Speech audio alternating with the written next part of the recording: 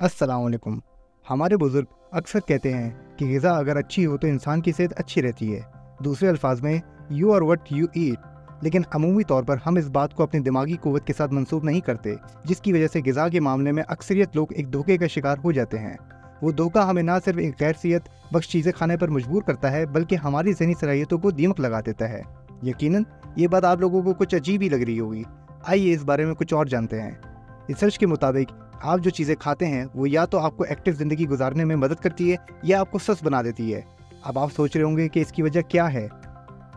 Science की तहकीक के मुताबिक आप जो गज़ा लेते हैं, वो आपके जिसम में हारमोन्स रिलीज़ करती है, जिसके सबब आपका जिसम अपने तमाम फ़ंक्शन या तो कुदरत के कवानीन के मुताबिक करता है या उसके बरक्स। मिसाल के तौर पर अगर आपकी गज़ा में चीनी और तेल की मकदार ज़्यादा हो तो आप जानना चाहेंगे कि इसके क्या असर पड़ते हैं। चीनी और तेल दो ऐसी चीज़ें हैं, जो शायद हर बीमारी की जड़ है। लेकिन ये आपको जहनी तौर पर माउफ करने में सबसे बड़ा किरदार अदा करती हैं। चीनी आपको ऑक्सीडेटिव स्ट्रेस का शिकार बना देती है, यानी आपके जिसम में रिएक्टिव ऑक्सीजन की तादाद बढ़ जाती है, जो आपके सेल्स को मुतासर करती है। दूसरी जानब वेजिटेबल ऑयल का ज़्यादा इस्तेमाल भी आपको न्यूरो डिजनरेटिव डिज़ीज़ का शिकार बना देता है। इन बीमारियों की तादाद आज के दौर में बढ़ती जा रही है। आप अपनी गज़ा की वजह से एंगजाइटी और डिप्रेशन जैसी बीमारियों का शिकार होते हैं, जो कि ख़ास तौर पे आज की जनरेशन की अक्सरियत को अपने आड़े में लिए हुए है। ज़रूरी अमल ये है कि अपनी लाइफ को चेंज किया जाए और गज़ा के असरात वाकई जहन पर मुरतब होते इसे समझा जाए।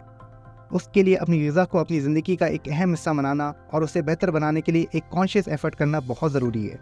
वो कॉन्शियस एफर्ट आपको आपकी ज़िंदगी के तर्ज अमल को बदलना और उसको बेहतर बनाना है, ताकि आप अपनी गज़ा को प्रायोरिटाइज करें और बेहतर बनाएँ।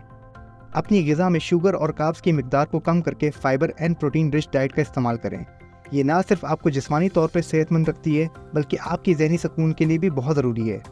अगर आप एक सेहतमंद हाल और मुस्तबिल जीना चाहते हैं तो आपको अपनी दिमागी कुत का ख्याल रखना लाजमी है।